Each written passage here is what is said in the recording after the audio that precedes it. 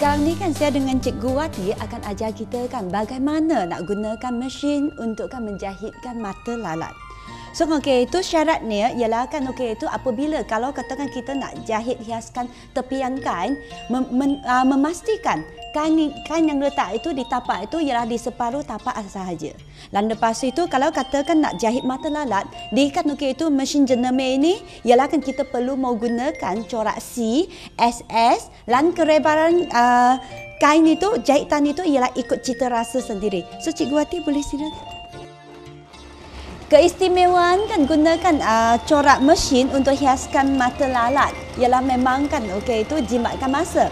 Kalau tidak kan biasanya di rumah kita gunakan tangan untuk jahit memang memakankan masa yang lama. Kan? So okey itu sekarang ni kita kan boleh kan menyaksikan kalau gunakan mesin dia akan cepat. Selain daripada cepat, apa kebaikannya lagi?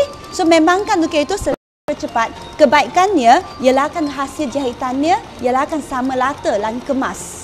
So kan sekarang ni Cikgu Wati sudah siap dan saya boleh tunjukkan. So kan okey itu kita boleh kan okey itu tengok hasil jahitannya. Ah jahitannya disebabkan kan jahitan mesin memang kan dia sama rata, lan kan kemas. So kan penting juga ialah kan okey itu akan jimatkan masa kita.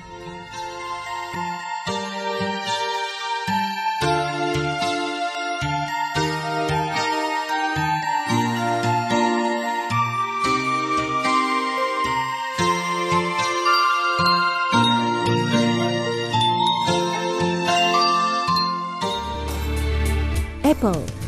Ada segalanya untuk anda.